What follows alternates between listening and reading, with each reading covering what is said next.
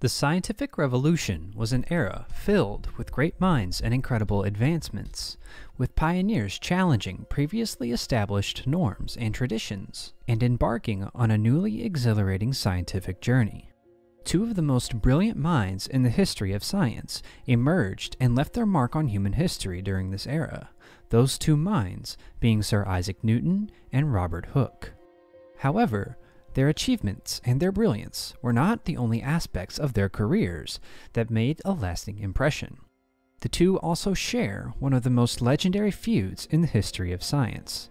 The prodigious mathematician and physicist, throughout his career, would trade blows with the ingenious polymath, leaving behind a path of jealousy and bitterness that would leave an impact lasting centuries, with its effects still being felt to this very day.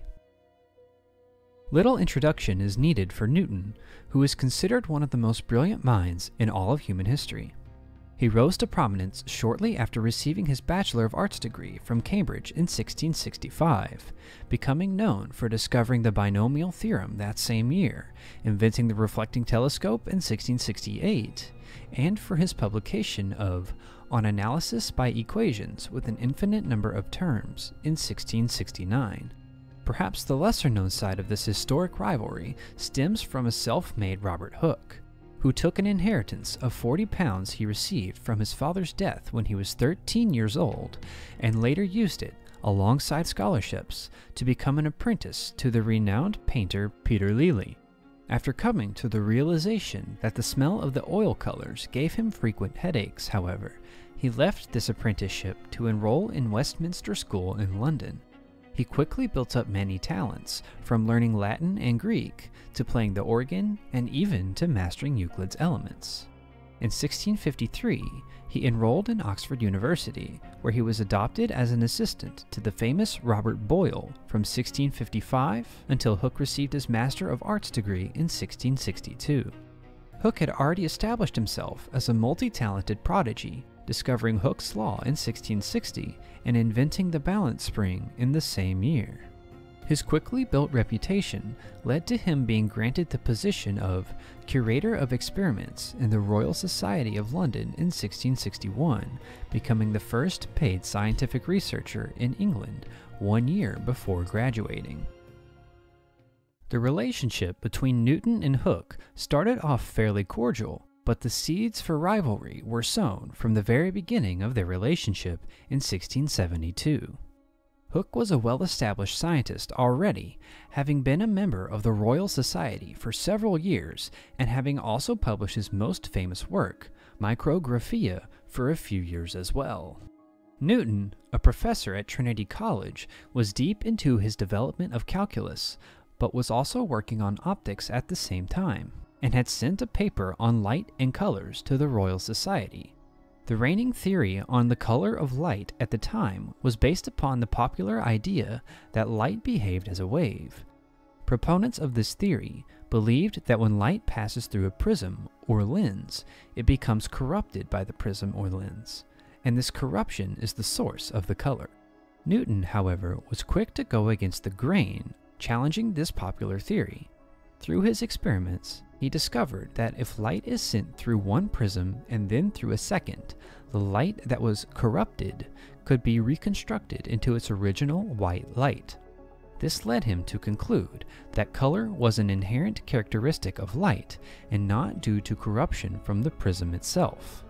These are the conclusions he presented in his 1672 paper to the Royal Society, which Newton labeled as his corpuscular theory of light but Hooke was not so inviting of these ideas.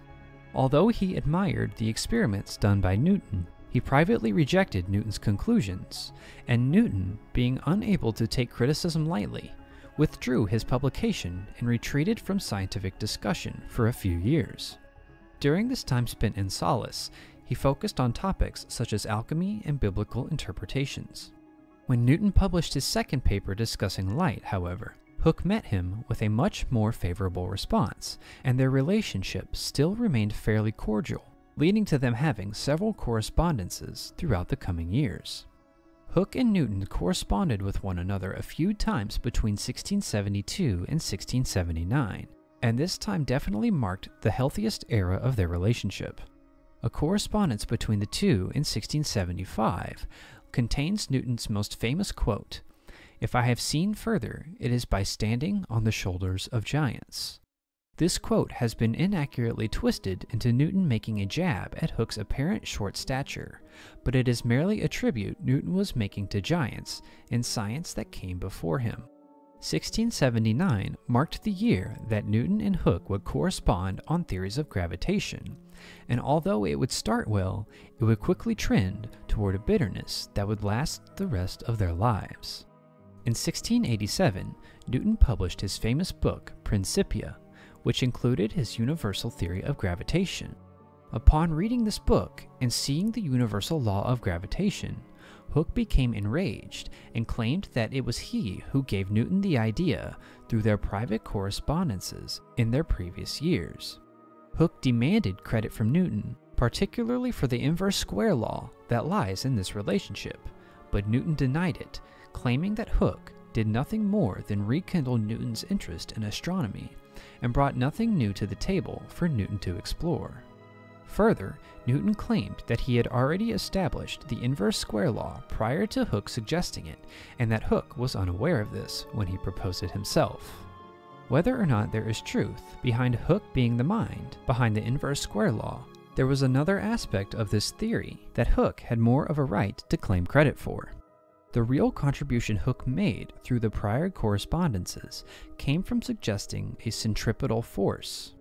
This was an idea that was very new to science at the time, an inward acting force as opposed to an outward acting centrifugal force. Without the concept of centripetal force, the theory of universal gravitation published by Newton was unthinkable.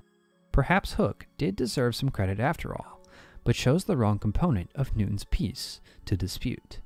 Regardless, the fallout of the battle over the contents of Principia between the two left a lasting impression.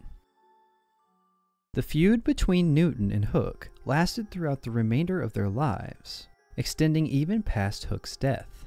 The fact that Newton outlived Hooke definitely allowed him to have the last laugh. Newton, a member of the Royal Society since 1672, became its president in November of 1703, eight months after the death of Hooke. The year following, Newton republished his Corpuscular Theory of Light in his book entitled Opticks in 1704. There are even claims suggesting that after Newton became elected president to the Royal Society, he had all of Hooke's portraits destroyed in an attempt to have him forgotten and lost in the history books. These are unverified claims, however, but it is true that there are no surviving portraits of Hooke to this day. There have been some recreations based upon descriptions of him through text, however, most notably a series of paintings made by historical painter Rita Greer. Although Hooke did have a reputation for attempting to steal credit from more scientists than just Newton, along with having quite a combative nature, perhaps the historical treatment of Hooke is not quite fair. After all, Newton was also quite combative and unwilling to accept criticism. There are a plethora of achievements and contributions to many fields made legitimately by both men, and they are both giants in the history books. The feud between the two men shouldn't overshadow that, but also shouldn't go ignored, as it reveals more layers to the story and shows all sides of the giant historical figures, including their human flaws. Their rivalry highlights not only their personal ambitions, but also the intense pressure to succeed in a rapidly advancing scientific landscape.